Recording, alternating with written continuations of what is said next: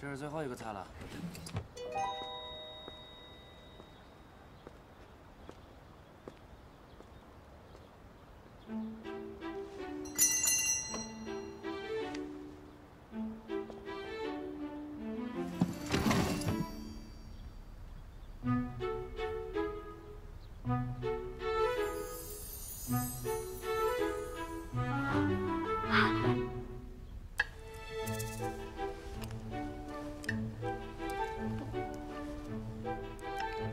你们都过了，还剩这么多，不吃不就浪费了吗？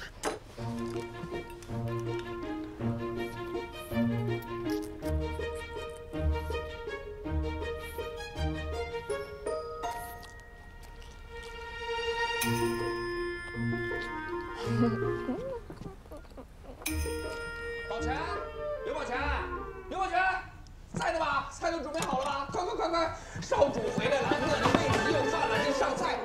么时候了，还给我搞这个仪式感？我这么快？哎哎，哎呦，正好，呃，六叔，别急犯了啊，先传膳，传完膳呢就用药。你妈这老方子，赶紧把药煎了，好不好？啊，都说了，赶紧的跑起来呀！刘宝全，我得配合你了啊！菜上来也不说一声，南瓜蒸蛋，下面菜快点啊！来了来了，南瓜蒸蛋，少主先暖暖胃。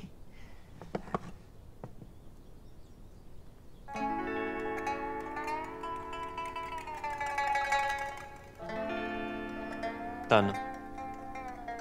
一定是他们弄错了。少主稍等。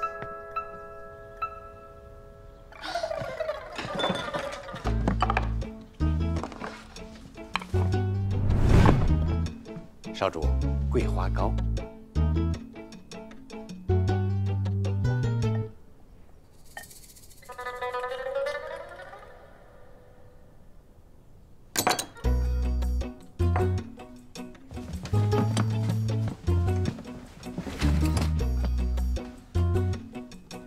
白灼西兰花。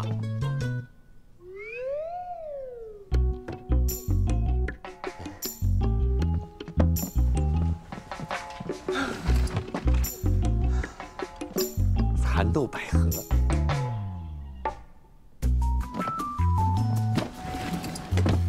白灼芦笋。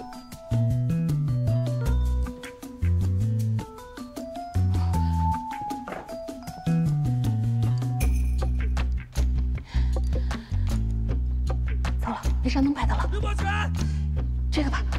刘伯全，我再给你最后一次机会啊！你躲着我也没有用，再说要鹅子，我跟你没完，我。嗯 这该死的公规，白灼排骨，我回头再找你算账，我。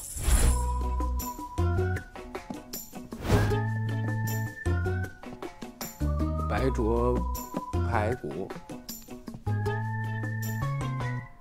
一定是我之前的打开方式不对，劳烦这一次您亲自来吧。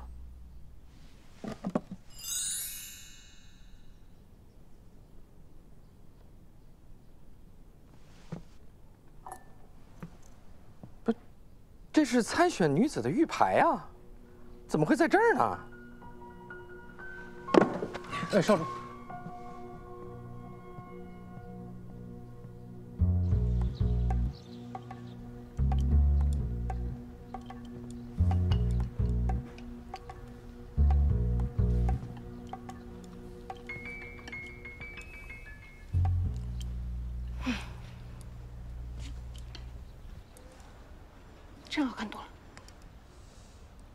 好像还是歪的。哎呀，你不懂。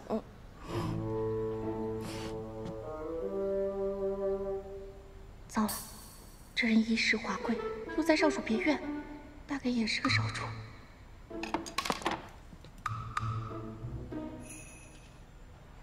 你是做什么的？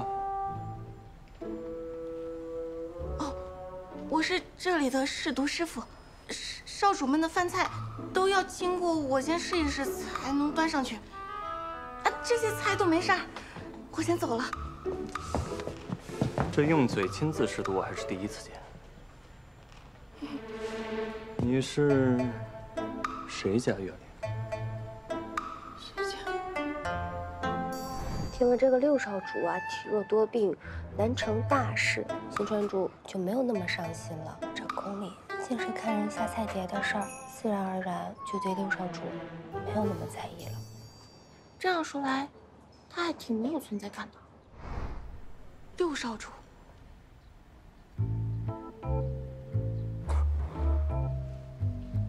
六少主。那你说说看，这六少主他长什么样子？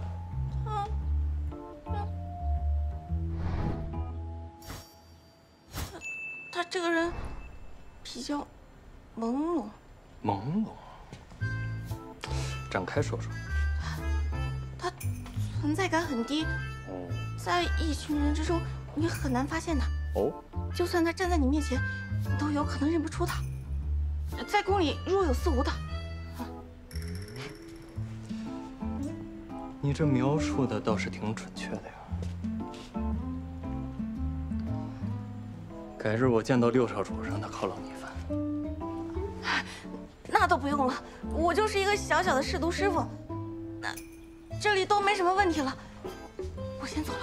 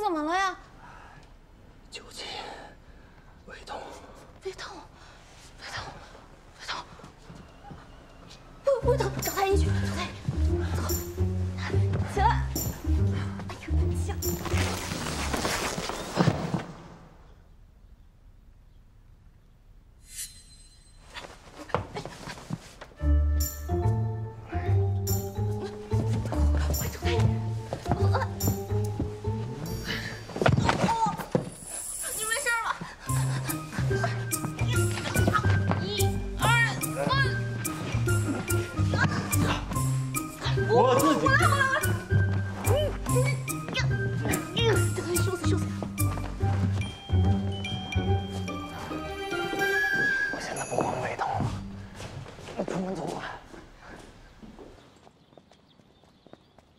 我不记得的是哪间院子了，也不知道他是谁，更不知道他胃疼有没有好些。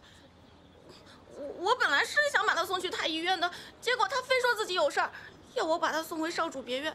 你说他胃都疼成那样了，还回少主别院干嘛呀？他不会是想告发我吧？那我会掉脑袋呀？我不会不会的，你别害怕。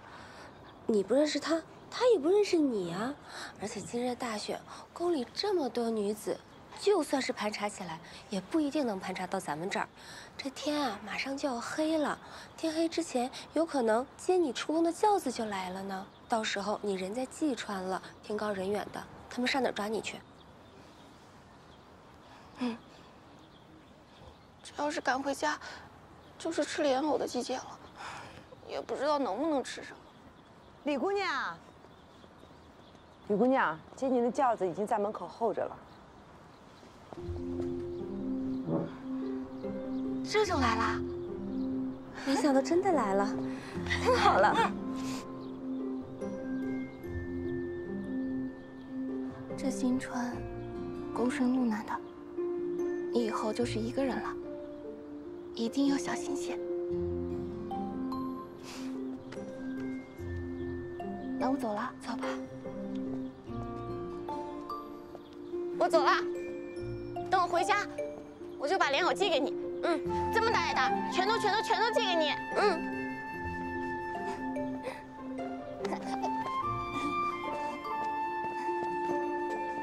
快点，快点，就等着你了。